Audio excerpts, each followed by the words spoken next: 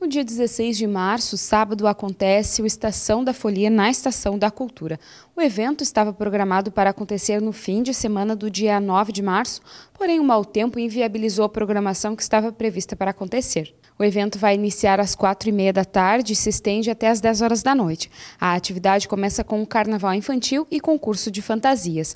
Ainda acontecem apresentações dos blocos Carnaval da Folia, Unidos do Bairro Senai, Ibiraiaras, Exube e Chico e Banda. O Estação Folia está sendo organizado com o apoio do Sesc Montenegro e dos food trucks que vão estar na estação comercializando lanches e bebidas.